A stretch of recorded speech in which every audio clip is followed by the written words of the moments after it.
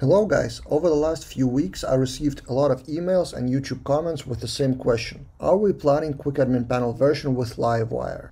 And we were thinking about it for a while but never really got to the point of how it would work because Livewire is usually considered for small components or small chunks of the page, but we never considered Livewire as a full version.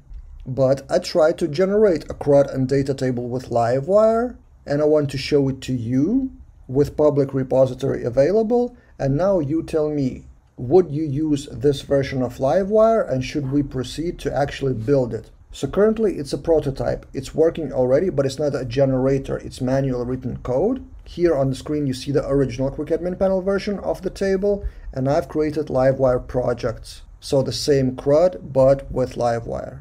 As you can see, data table is a bit different because it's not using any jQuery data tables or anything. It's just Livewire sorting works, per page works, mass delete works. So if you want to delete selected, search works, something here.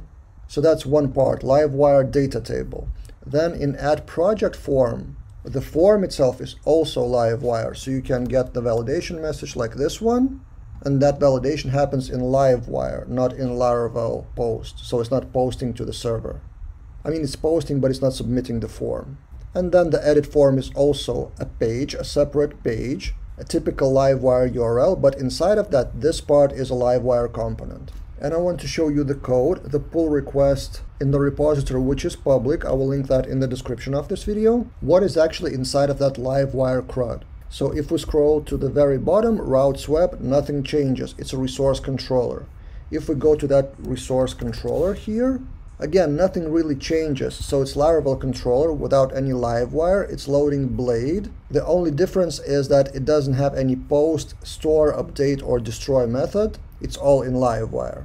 And then in that blade, Livewire project index, inside of those blades, the blade itself is Laravel blade, but inside of that there's Livewire component. So the whole page is Laravel, old version, nothing really changes, but inside of that, the page content is Livewire projects index or projects form. And in this case, I'm reusing for create blade, it's a project form without parameter.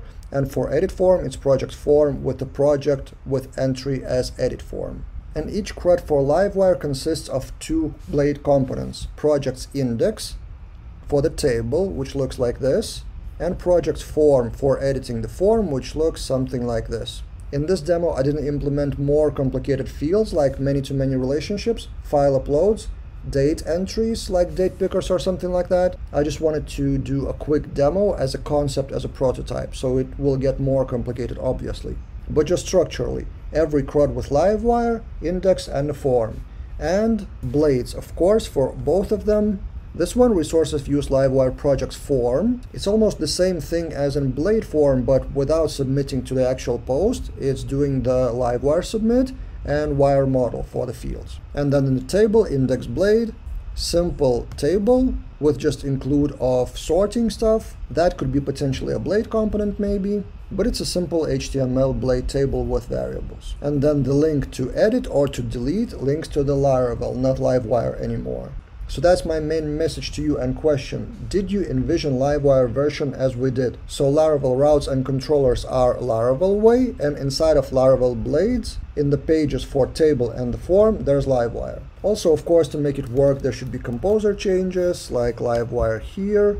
Then in main admin blade, there should be Livewire styles and Livewire scripts but that's less important details. The main question to you is would you use such version if we generate CRUDs with Livewire? Or do you have any other suggestions? What parts or what features of Livewire should we include in Quick Admin Panel Generator? So we would work on that in the beginning of 2021. So now it's time for you to help us help yourselves if you want to have Livewire generator in 2021. We'll be waiting for your feedback. You can email me directly, povilas at laraveldaily.com or comment on this video or comment on GitHub repository in the parts of the code that you want to comment. I will try to answer each of them and by January we will have some kind of idea where we move with that Livewire Quick Admin Panel generator.